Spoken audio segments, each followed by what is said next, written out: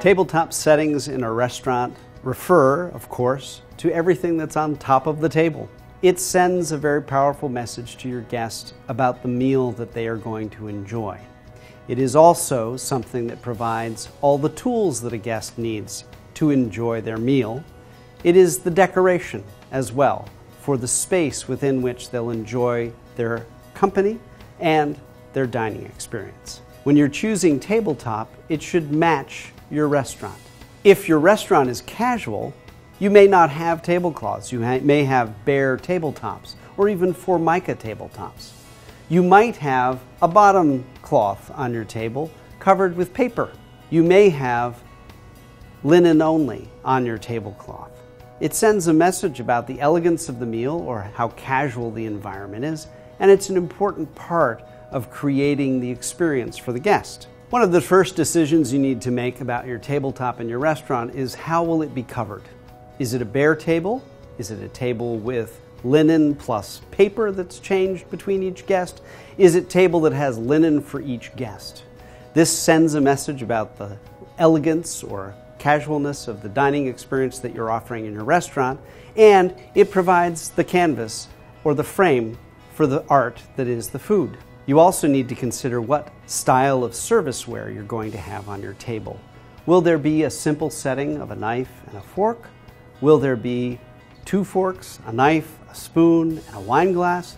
All of these send messages to guests about the type of experience they're about to have and make sure that they have what they need to enjoy their dining experience. You also have an opportunity with tabletop in plateware to provide beauty at the table. Now, there can be very simple, serviceable plates in a restaurant that are fine, plain white, and they can do the job. And that's wonderful because it provides a very plain background for the food to show its vibrant color and to look appealing and appetizing to the guest. Or you may want to have very fine and intricate china in different shapes and sizes, square and oval and rectangular. These provide excitement at the table and more interest for the food as it's presented. It's also true that glassware is a key component of tabletop. You can have very sturdy, simple glassware for all of your beverages, or you can have a different glass that is used for each type of beverage. You might have a glass that's specific for water or for iced tea, or a glass that you use for beer, and a different glass that you use for, for wine. In addition, you might want to consider having a candle on the table at dinner time.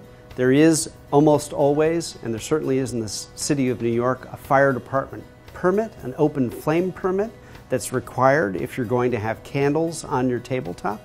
You might want to have a small vase with a flower as long as it doesn't get in the way of the interaction of the guests. The most important thing about tabletop and the choices that you make is that there not be too much on the table. Too much on the table is uncomfortable, it's awkward, feels claustrophobic. The table needs to serve as an appropriate place for all of the food and dishes to be placed and to feel comfortable for the guest as they dine.